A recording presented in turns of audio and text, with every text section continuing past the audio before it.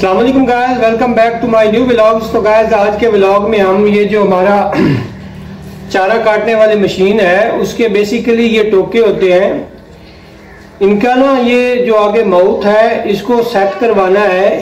ये बेसिकली जो हमारे गाँव के अंदर लोहार हैं, ये अबाव इदार से सिलसिला चलता आ रहा है। जो हमारे काम काज करते हैं, उनके पास लेके जा रहे हैं। तो भी गाय ये मेरे हाथ भी काले हो गए हैं। तो इन दोनों को मैंने ना कंबाइन ये धागे के अंदर बाँध लिया है। अभी हमने लोहार लोहार के पास जाना है। तो गैस स्टे विद मी उसके बाद और से भी काम करने हैं, जो अभी बाकी हैं। आई डू होप कि everybody enjoy a lot so stay with me तो गैस ये टोके जो थे, हमने ये साथ ना बाइक के बांधे हुए थे। और गैस ये बड़े ना केयरफुली लाने पड़ते हैं। ताकि आपको जो पाँव है, उसको अगर लगे ना तो काफ़ी जो है ना, वो ज़ख्म हो जाता है। तो गैस ये बेसिकली नाम तो ये हमारे दोस्त भी हैं, अच्छे भाई भी हैं, इम्तियाज़ उर्फ़ पप्पू इनका नाम है। ये बेसिकली एक भट्टी है सामने, जो नज़र आ रही है।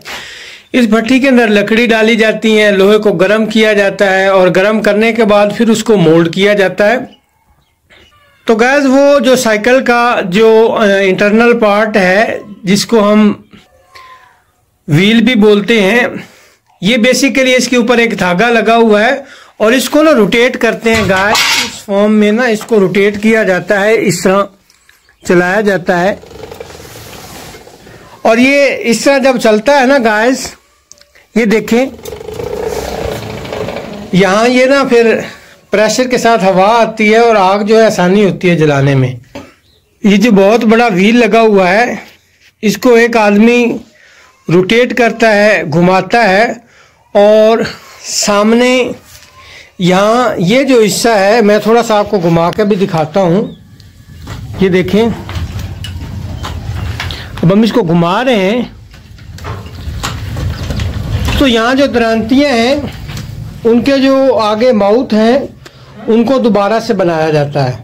A solid like iron can be molded as waste when it is heated, so stay cool to be strong.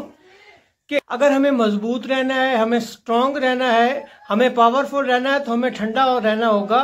मज़बूत होते हैं तो हमें मोल्ड किया जा सकता है। तो guys though we are on the way to home सभी बहुत सारे और भी काम करने हैं हमारे साथ रहिएगा।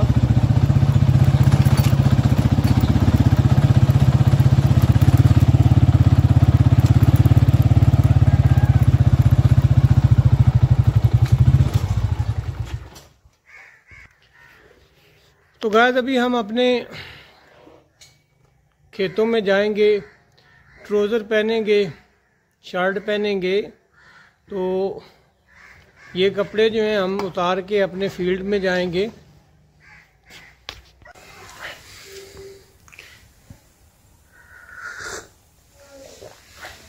तो गाय काम पर जाने से पहले ये टी ब्रेक है। मैंने कहा चाय वगैरह पी लें।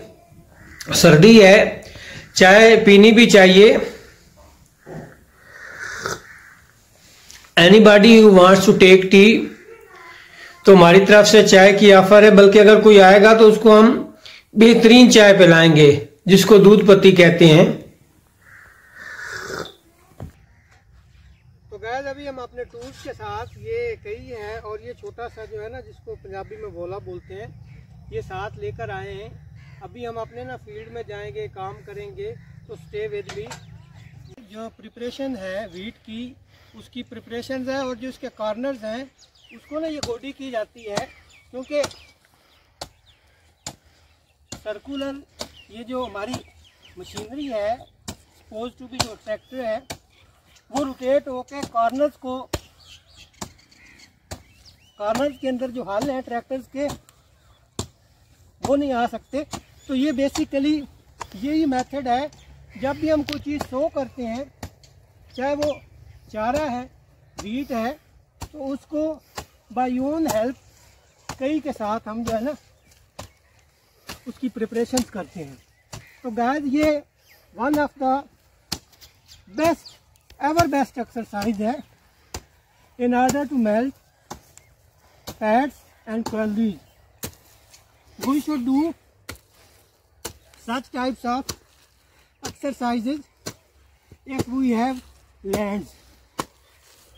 ਤੁਹਾਨੂੰ ਕਿੰਨਾ ਪਾਣੀ ਚਾਹੀਦਾ? 3 ਘੰਟੇ ਸਿਰਫ ਅਗਲੇ ਹਫ਼ਤੇ ਪਾਣੀ ਤੁਹਾਡਾ ਪੱਕਾ ਹੋ ਗਿਆ। ਤੁਸੀਂ ਪਤਾ ਕੀ ਹੈ ਪਾਣੀ ਵਿੱਚੋਂ ਅੱਗੇ ਤੁਹਾਡਾ ਰੱਖਿਆ ਹੋਇਆ। ਜੀ ਹੁਣ ਪਾਣੀ ਵਿੱਚ ਉਹਨਾਂ ਨੇ 4 ਬੰਦੀ ਘੰਟੇ ਪਈ ਹੁੰਦੇ ਜੁਮੇਰਾਤ ਨੂੰ ਬੰਦੀ ਨੇ ਬੰਦੀ ਨਹੀਂ ਜੁਮੇਰਾਤ ਨੂੰ ਬੰਦੀ ਨਹੀਂ ਬੰਦੀ 27 ਤੋਂ ਬਾਅਦ है टीवी पे भी खबर बारह बजे तो गैस ये देखें जो हमारा नहरी पानी है अभी इतना हमारी जो इरिगेशन का पर्पज है ये हमारी लैंड है अकॉर्डिंग टू द लैंड नहीं है। पानी की कमी है we are facing the problem of acute shortage of canal waters तो अभी ये देखे अंकल मेरे पास आए हैं इनकी गंदम जो है वो ड्राई खड़ी है पानी की उसको ज़रूरत है। तो हमें जो गवर्नमेंट ऑफ़ पंजाब या गवर्नमेंट ऑफ़ पाकिस्तान है उसको ये हम हम अटेंशन दिलवाएँ कि we needs urgent canal waters और पाकिस्तान में ये ना बर्निंग इश्यूज़ होता जा रहा है। Overall no doubts water crisis is a worldwide problems but Pakistan is facing too much problem since a various decades तो हमें इस मसले को एज सोन एज जो है वो सॉल्व करना है। This is where we needs to go तो गाइस अभी घर में आए हैं तो ये पता चला है कि आटा खत्म था तो ये घर की गंदम है। इसको हम ग्राइंडिंग मशीन पे, जिसको चक्की कहते हैं, वहाँ पे लेके जा रहे हैं पिसवाने के लिए। तो गाँव के अंदर ये सारी चीज़ें खालिश होती हैं, अपनी जमीनें, अपनी गंदम होती है, अपनी सब्ज़ी होती है। ये सारी चीज़ें जो होती हैं, खालिश होती हैं। और गाइस ये टूल है, जिसको पंजाबी में टोपा कहते हैं। ये एक अगर हम भर के डालते हैं इसमें तो ये टू के जी काउंट होता है।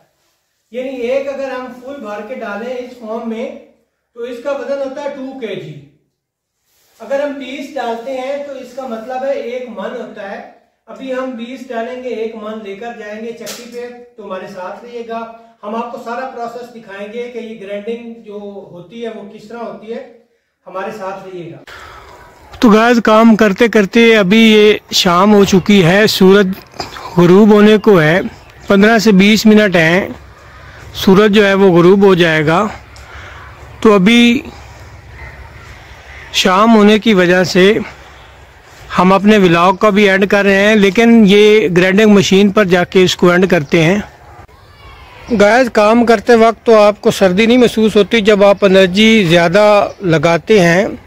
आप ज़्यादा ज़ोर लगाते हैं, कोई फोर्स का काम करते हैं। तो उस वक्त इवन दिन के दिसंबर हो, जनवरी हो, आपको पसीना आ रहा होता है कि अभी हमने बाइक पे जाना है। शाम का टाइम है, ग्राइंडिंग मशीन पे जा रहे हैं।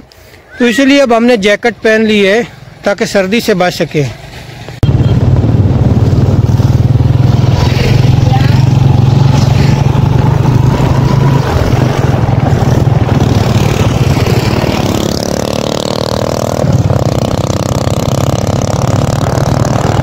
तो गैस ये टाइम है एवरीबॉडी जो छोटे छोटे किसान हैं फार्मर्स हैं, गरीब गुरबा, अपनी बैलगाड़ियों पे on the way to their homes हैं और अपने जानवरों का चारा लिए हुए। और ये लोग इतने मेहनती हैं जफाकश हैं कि सारा दिन खुद भूखे रह लेते हैं, अपनी भूख बर्दाश्त कर लेते हैं। लेकिन जो इनके अपने एनिमल्स हैं, उनका फ़ीड ये प्रॉपरली मैनेज करते हैं ऑन डेली बेसिस तो this is a beautiful village life.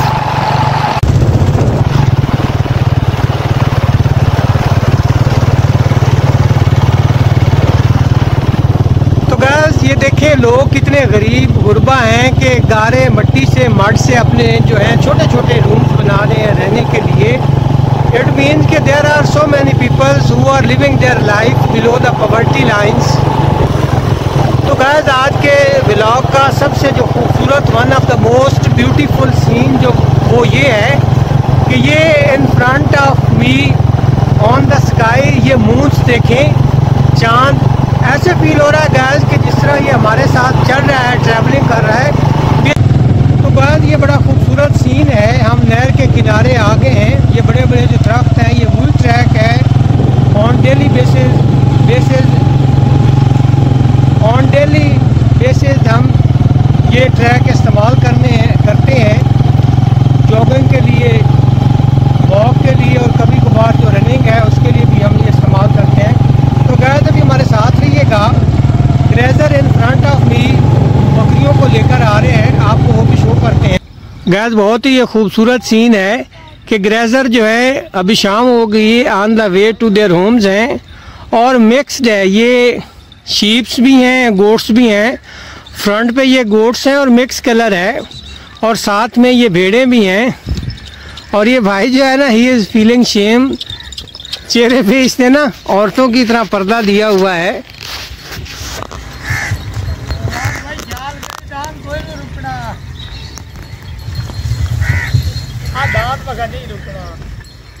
तो गाज ये नहर है, अब हम इसको क्रॉस करेंगे।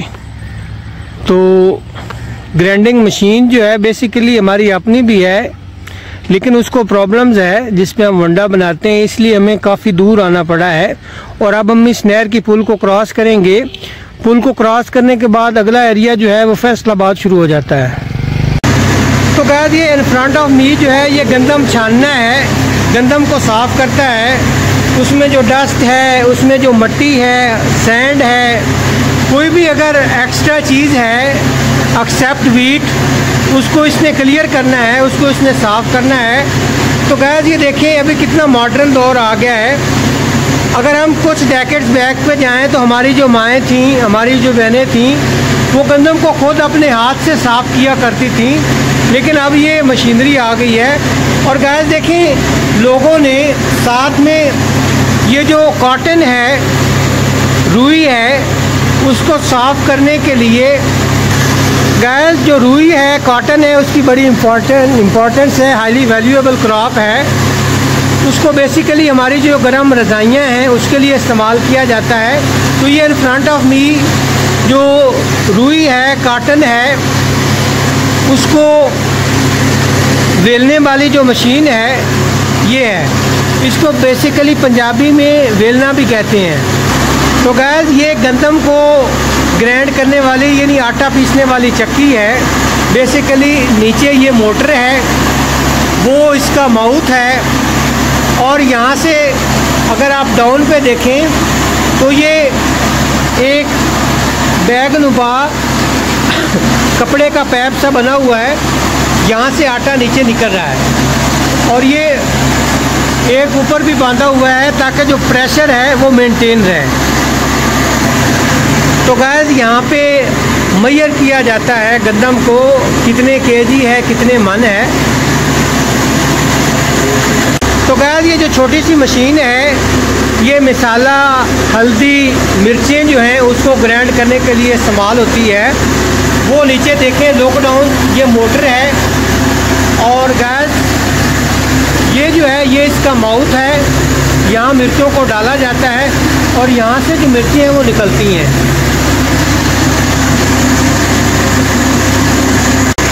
तो गैस आई डू होप कि ये जो मेरा ब्लॉग है, आपको बहुत अच्छा लगा होगा। आज का दिन काफ़ी मसरूफ रहा है, बहुत सारे हमने काम किए हैं। तो ज़्यादा से ज़्यादा इसको लाइक कीजिएगा शेयर कीजिएगा सब्सक्राइब कीजिएगा। अगले ब्लॉग तक के लिए इजाज़त दीजिए। अल्लाह हाफिज़।